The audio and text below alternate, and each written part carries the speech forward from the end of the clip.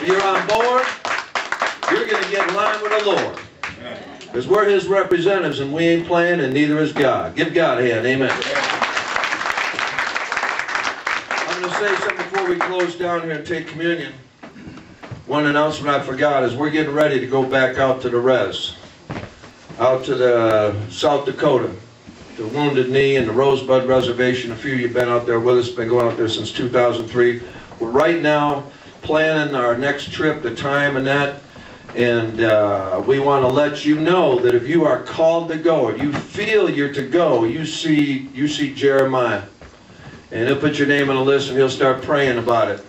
But this is very serious, and I'll tell you why. Because we've been there since 2003, and it's grown to a, a point out with the Native Americans where we have to plant a church out there. You know what that means?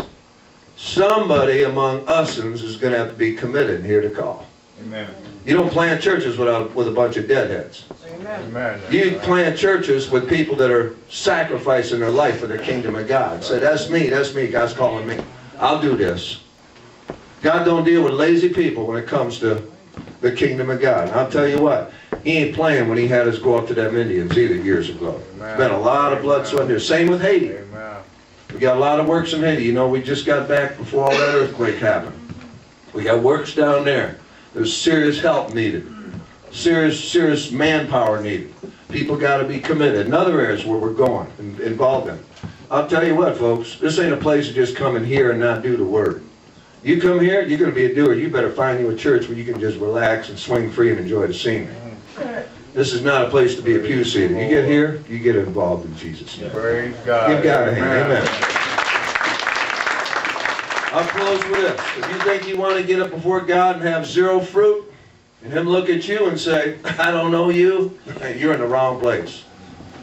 Hopefully you're going to get educated enough here through the Spirit and the Word of God that you're going to want to be one of those ones that stand before Him, upwards of hundredfold fruit, having done the will of God, faithful unto death. And He look at you and say, well done, my good and faithful servant, enter in the joy of the Lord. That's our job and our responsibility and our mandate before God for you. We're not here to blow no smoke. We're here to help you cross the finish line, get where you got to go, and be productive in this earth. So quit singing the blues. And again, thank God for B.B. King and all the other bros. But it's time to start singing high praise to God. Do what you got to do in Jesus' name. Let's bow our heads. Father, in the name of Jesus Christ, Lord, as you just prepare our hearts for communion, have mercy on us, Lord, and forgive us for sins and iniquities, bondages. Forgive us for, I hear this word, excuses that we make, not just to sin, but to be lazy, be lethargic. And, and I hear this, the blame game. Quit blaming other people for your situation. Ain't nobody's fault. You are where you want to be right now. Every one of us is right where we want to be. And you got to have the want to to serve God. You, if you seek first His kingdom and His righteousness, everything else will be added to you. You don't have to worry about what you're going to get. You be concerned about who you're going to serve.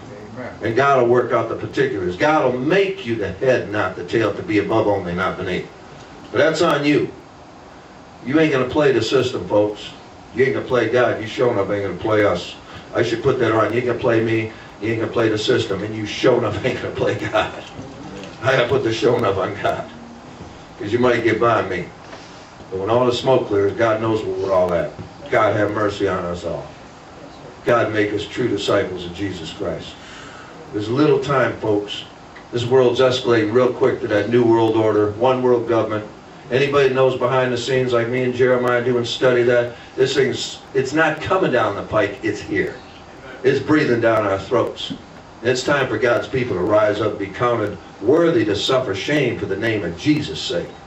So quit worrying about who you're going to please and what you're going to do with your life and give your life to God and be for real.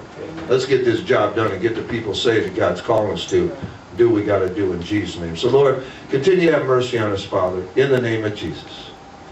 And Father, help us to help us to be ready in the days ahead for what comes down the pike, Lord. We know we can be ready. We just got to be determined. We want we want you more than anything else in Jesus' name. Let's uh, take those communion elements and uh, pass them out. Everybody's going to take communion. If you're a blood-washed saint, if you repent of your sins,